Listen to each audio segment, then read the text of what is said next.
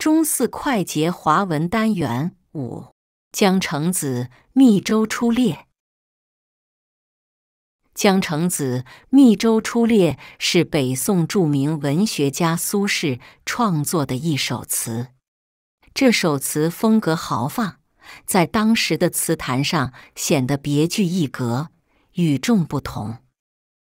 苏轼姓苏，名士，字子瞻。但人们一般称他为苏东坡，这来源于他的号东坡居士。他曾经因为与朝中的当权者政见不同而被贬到黄州（今湖北黄冈）。由于生活贫困，缺少粮食，他不得不带着家人在黄州东面的山坡上开荒种田，他的号东坡便由此而来。苏轼学识广博，多才多艺。他不但创作了许多流传千古的诗词和文章，而且在书法和绘画方面都取得了极高的成就。苏轼是一个乐观的人，从未被生活的磨难所压倒。即使身处困境，他仍然能够以豁达的心胸面对人生的风风雨雨。虽然在官场上不断受到排挤和打压，但苏轼并未因此而变得消沉。他始终怀有报效国家的满腔热忱。公元一千零七十四年，他被派往密州（今山东诸城）担任当地的地方官。第二年，他因天气干旱而去当地的山上主持求雨的仪式。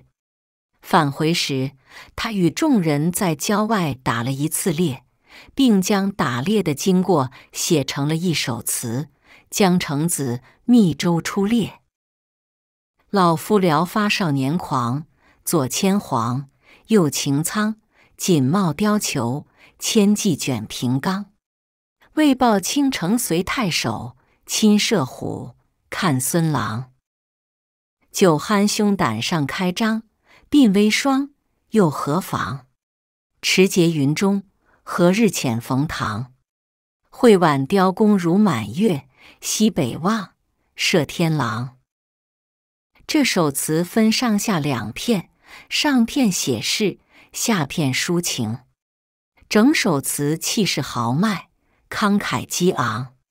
苏轼虽然自称老夫。但在词中表现出的是一种年轻人的豪放与激情。他一副猎人的装扮，带着黄狗、苍鹰，与大队人马在平坦的山岗上追逐猎物。他勉励自己，要像三国时的孙权那样，射杀猛虎，一展雄姿。虽然苏轼已经不算年轻。但他觉得自己胆气豪壮，两鬓的白发并不影响他为国效力。他举了一个典故：西汉时，云中郡太守魏尚因为犯错而被治罪，后来朝廷接受了冯唐的意见，让魏尚官复原职。苏轼希望自己也能得到重用。更希望有朝一日能够奔赴西北前线，实现杀敌报国的梦想。这首词上片描写打猎的场景，下片笔锋一转，表现出要保家卫国、建功立业的雄心壮志。整首词气势雄浑，境界开阔，充分体现了苏轼广阔的胸怀与高远的志向。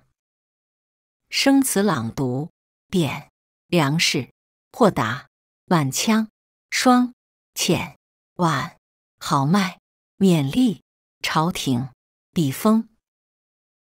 词语教学：中四快捷华文单元五，江城子密州出猎。贬，解释：降低官职或价值。例句一。他原本是一位大官，但是因为得罪了皇帝，结果被贬到偏远的地方当一个小官。粮食解释：供食用的谷物，豆类和薯类的统称。例句一：那个军队之所以打了败仗，是因为缺乏粮食，士兵没有足够的食物吃。豁达解释：性格开朗，气量大。搭配：豁达开朗，豁达乐观，胸襟豁达。例句一：他为人豁达开朗，不会为了小事斤斤计较。二。我们面对挫折时，应该保持豁达乐观的心态，不能消极面对。满腔解释：充满心中。搭配：满腔热情、满腔热血、满腔怒火、满腔热忱。例句一：他们都是满腔热血的军人，为了保卫国家，视死如归。双。解释：气温降到零摄氏度以下时，接近地面空气中所含的水汽在地面物体上凝结成的白色冰晶。比喻白色。例句一：寒冷的冬天，地面上凝结了一层冰霜。二：月光照在地上，地面上像被一层霜覆盖着。浅。解释：派出去。例句一：那个大国经常派遣军队到战乱国家，帮助维持区域的和平。二：那个通缉犯已经被国际刑警逮捕，并且遣送回国。晚解释：搭。例句一：那对年老夫妻挽着手在河边散步。二，他挽弓射出第一箭，一箭就射中靶心。豪迈解释：气魄大，勇往直前。搭配：气势豪迈。例句一：李白的诗奔放豪迈，抒发了自己的豪情壮志。二，那群运动员气势豪迈，在比赛中不畏困难，勇往直前。勉励解释，劝人努力，鼓励。例句一：老师勉励同学们继续努力学习，一定能考到好成绩。二：面对困难时，同学们要互相勉励，一起克服困难。朝廷解释：君主时代，君主听政的地方。也指以君主为首的中央统治机构。